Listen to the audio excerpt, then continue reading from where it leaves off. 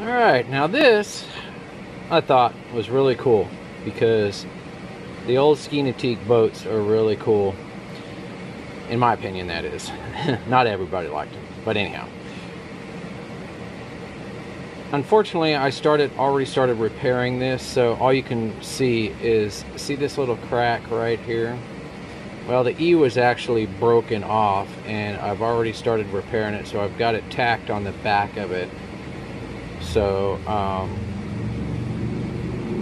and uh, so I've got to go, I've got to grind this out and fill it in so it's a solid weld. But anyhow, um, I wanted to show you all that. I know you boat lovers out there would be interested in seeing uh, this. So if you have any questions or comments, please feel free to um, give me a shout. Thanks. Here's our Ski Nautique emblem.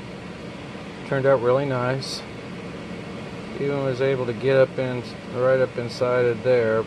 Had to pile it up and regrind it though, but it's okay. It looks good.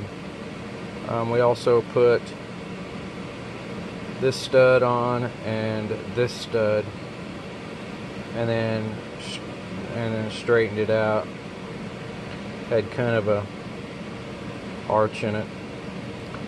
But anyway, I just thought I'd share this with y'all for you boat lovers. This is a really neat emblem, and personally, I like the ski nautiques, the older ones, the little shoebox ones, I guess, if you will. So, anyhow, uh, appreciate all of you, and uh, look forward to commenting or uh, seeing your likes and um, comments. Thank you so much. Bye bye.